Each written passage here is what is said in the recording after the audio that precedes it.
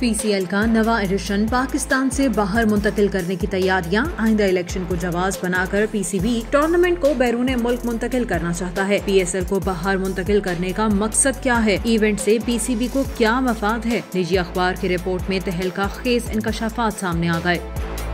निजी अखबार लिखता है कि पीएसएल की पाकिस्तान से बाहर मुंतकली मालियाती तबाही होगी। पीसीबी अखराज में कमी के लिए टूर्नामेंट को मुंतकिल करना चाहता है। पीसीबी टूर्नामेंट का इनका करता है, जिसमें स्टेडियम से लेके सिक्योरिटी तक सब कुछ शामिल है। बोर्ड फ्रेंचाइज से टीम के हकूक के लिए फ़ीस लेता है, जो सालाना पंद्रह मिलियन डॉलर बनती है।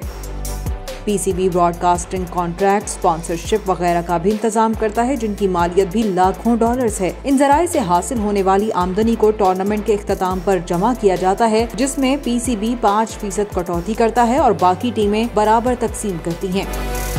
अब पीसीबी फरवरी में होने वाले इंतबात की वजह से इस साल टूर्नामेंट को बैरून मुल्क मुंतकिल करना चाहता है, जो कि एक माकूल बहाना है। लेकिन वो इस हकीकत से परेशान नहीं होंगे कि उन्हें सिक्योरिटी फराहम करने पर एक पैसा खर्च नहीं करना पड़ेगा, जो पाकिस्तान में महँगा है। मसला ये है कि फ्रेंचाइजेस खुश नहीं है। मौजूदा मुनाफे की तकसीम का मॉडल पिछले कुछ सालों से ठीक काम कर रहा है, लेकिन बड़ी टीम के मालिकान के अंदर ये जज्बा बढ़ता जा रहा है कि वो इलाकाई रेवेन्यू शेयरिंग मॉडल की पैरवी करना चाहते हैं।